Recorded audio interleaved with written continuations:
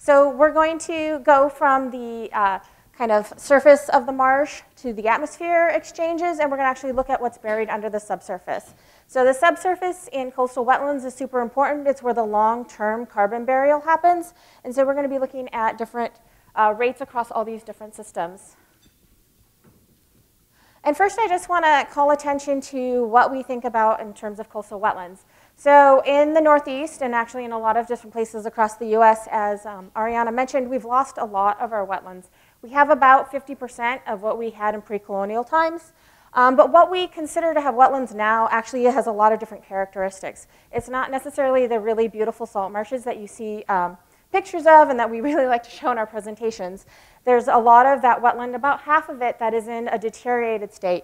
And that can either be um, impounded behind a dike um, where fresh water is held on the surface, or drained. Um, we do a lot of things to drain wetlands so that we can use that land for other purposes, or farmed, um, and that could, usually is drained as well. And the Herring River, which we're talking about, um, has both the uh, flooded or impounded and the drained uh, uh, landscapes behind it. And so when we talk about coastal wetlands, it is really important to know what is going on in impaired systems as well as natural systems. And I would say our state of knowledge on natural systems is much greater than our state of knowledge as impaired systems.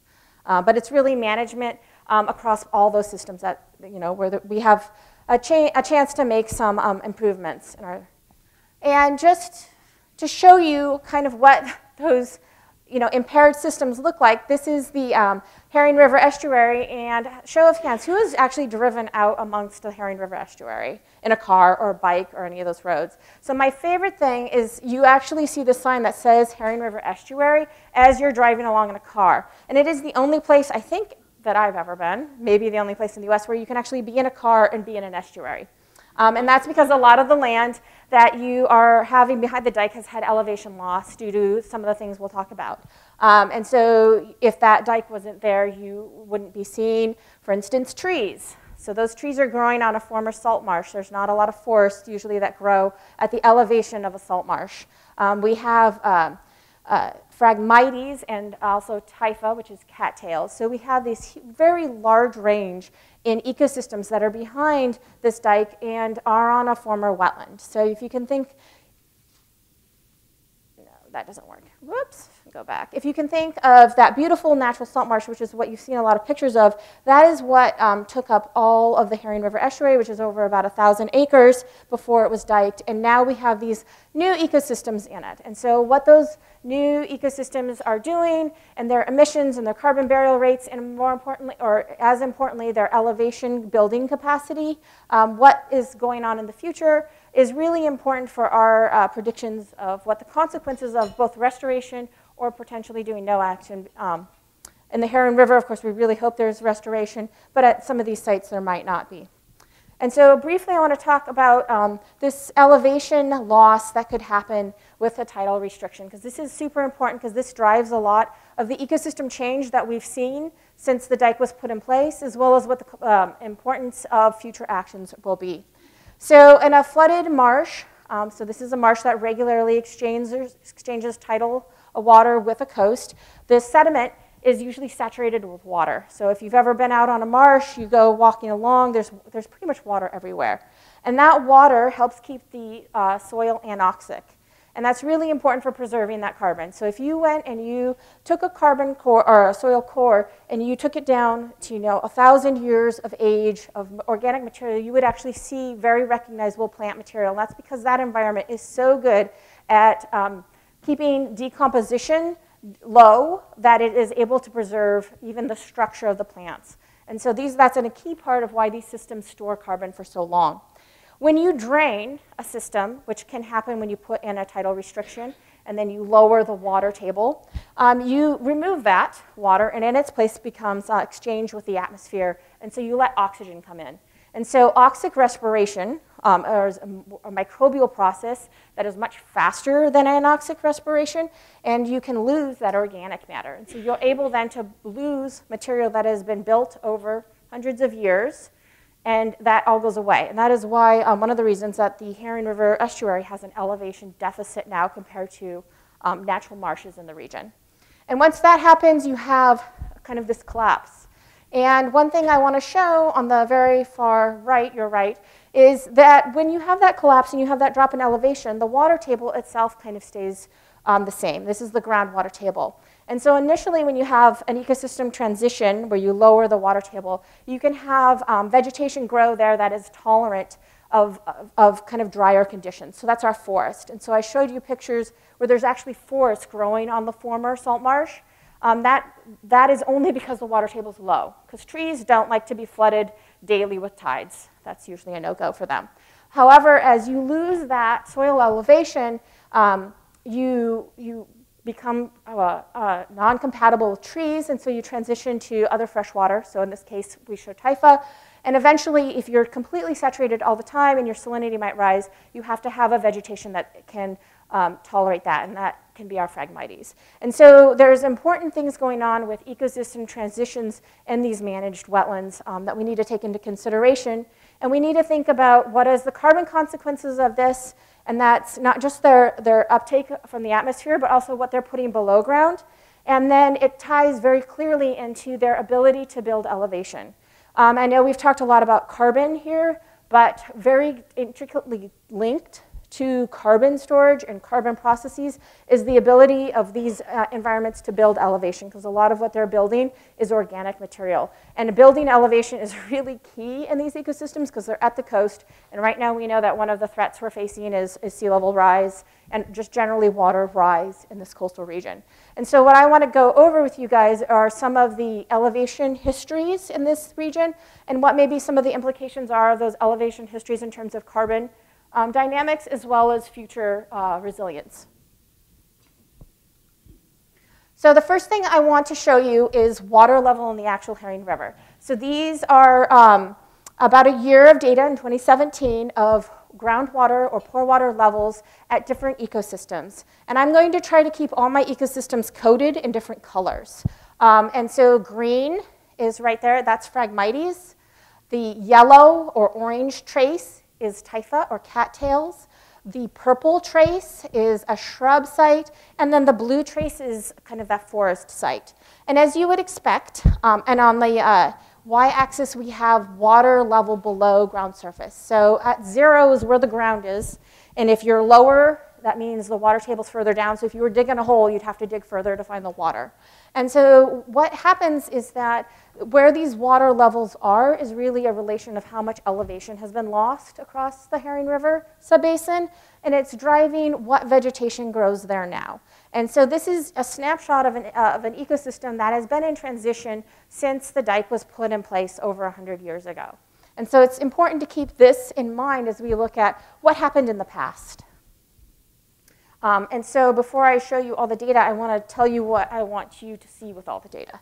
Okay, so the first is that these drained and impounded wetlands are very, very different from natural wetlands. That seems like an obvious um, uh, statement, but that different history has really important implications for their future um, projections. And so we have to keep that in mind because we're not at a static point. We're, we're having a lot of environmental change coming up. That vertical growth is really necessary to be resilient to sea level rise, which is an ongoing problem. Um, restored marshes do grow vertically, um, and that's really important, and they store carbon. And as they um, are longer in age past their restoration date, those, uh, the capacity to store carbon and grow vertically does uh, increase with some caveats. Um, and what we've seen in the soil is that natural marshes store carbon at the highest rate of all the systems we've looked at. So different impounded and impaired wetlands and our natural rates um, are highest in natural systems because our, our restored systems are all less than 20 years old. So now what data am I going to show you? So there's been a lot of data collected over all the bringing wetlands to market projects as well as associated projects. And so um, there's these color-coded uh, systems in the Herring River, so that's forest, shrub, Phragmites, and cattails that I'm going to show you. I'm also going to show you data from natural salt marshes. We've collected quite a bit of that, as well as some restored marshes. And the reason we've collected some restored marsh data is we want to have some idea of what might happen to the Herring River after restoration.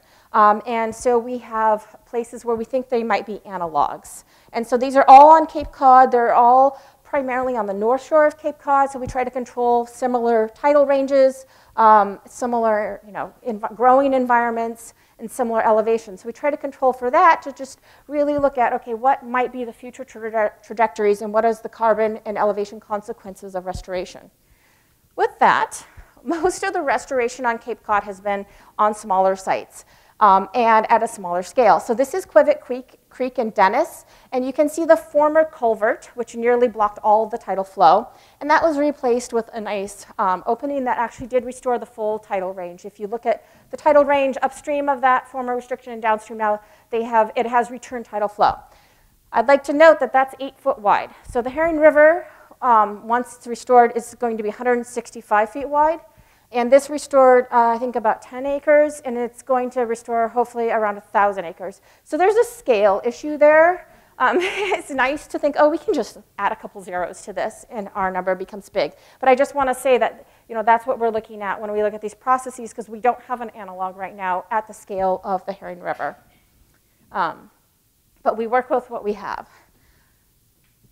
Okay, so for those of you who uh, might be interested in what we actually did, we went and collected a bunch of sediment cores. And these are pictures um, right now of uh, the tops of all the cores, um, starting from your left. That is Phragmites, those large roots in there are parenchyma. They're how um, a Phragmites pulls oxygen into the sediment, and it's how they survive in some of these um, reducing environments. The next over is cattails. And then we have kind of a very mucky shrub one. It's a kind of a dense. Um, next to that is forest. It looks very dry. Um, and following that is a restored marsh. It's even muckier. When marshes are restored, um, they are typically going from maybe cattails or phragmites to, to a salt marsh. And there's a lot of activity that kind of hurts their soil consolidation. And then finally a natural marsh, which has got a very firm soil texture. And so from these, we're able to look at the last century of elevation change, um, as well as carbon storage. Um, so I'm going to show you first what the elevation changes looks. And this, this plot is going to have a lot of lines, um, but they're all color-coded like these, and so we can, we can kind of try to keep tracing them. The first one I want to show you is the black line at the bottom. So that's mean sea level. Um, that's from Woods Hole. It's from the, about the 1930s. And you can see there's different things that are showing here. So this is time on the x-axis, and this is elevation. So this is absolute elevation. And we determined this by measuring the elevation at the surface now, dating the soil back in time, and, and following elevation back in time through depth in the soil profile. And the first thing I want you to see is that the black ones at the black and gray at the top, those are natural marshes. They are very high elevation and they are heading um, upwards. And that's because they're responding to sea level rise. Um, and natural marshes have a, a built-in ability to do that through uh, feedbacks between flooding frequency, um, productivity, so more uptake, as well as more storage. Um, because you're increasing the environment that can store uh, organic matter, which is building elevation. The next one um, is the tree, and that one's almost flat. And so if that needs to respond to any sort of sea level rise, do you, does it look like it's going to respond? It, it, it, doesn't have the capacity to build elevation. So it is on an interception course with sea level rise.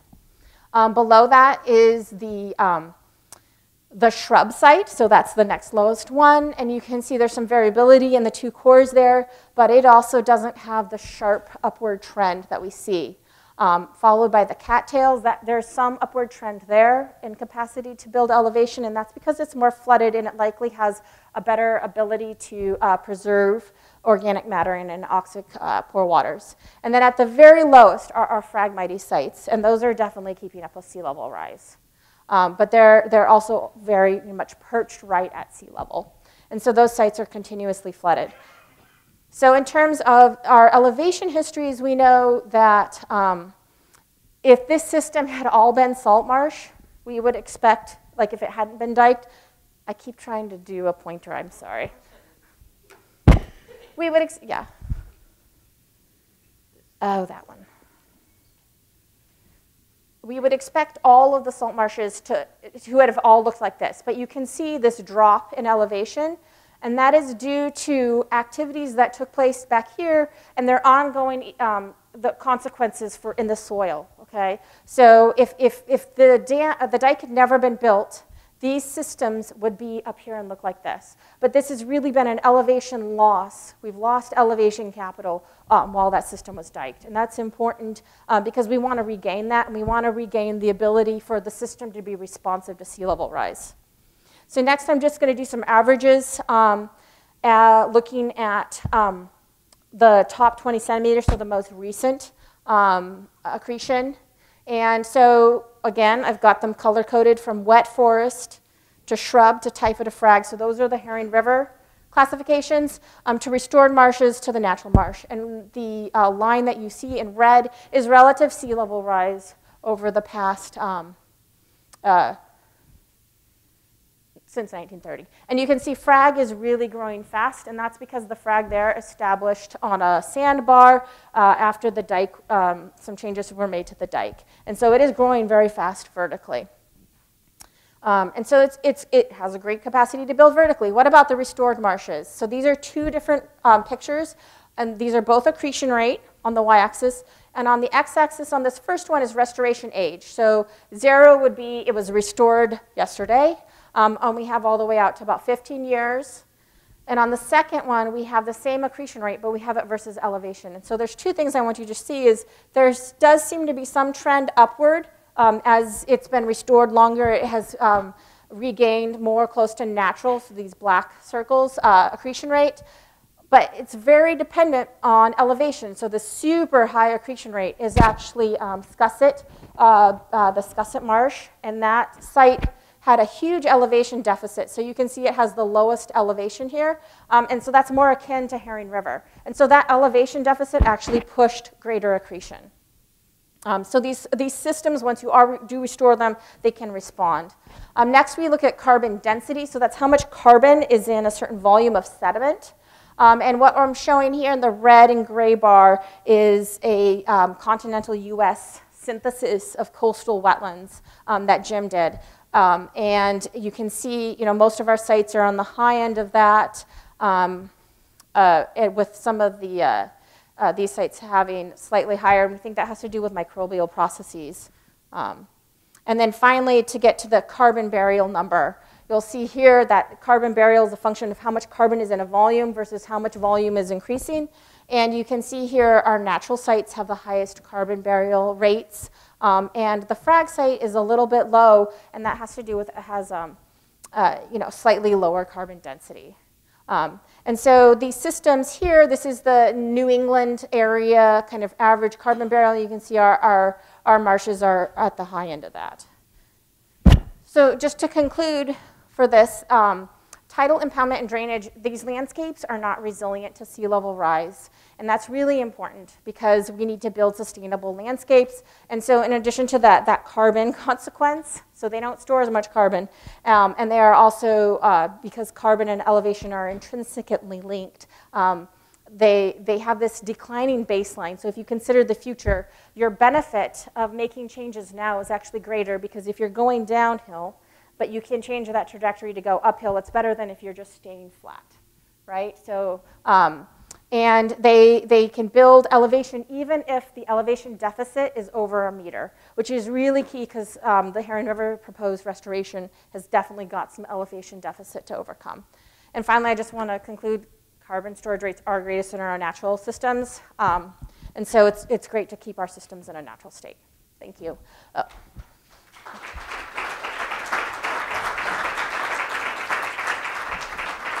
So many people and funders, so I'm just going to leave us at that. Wonderful.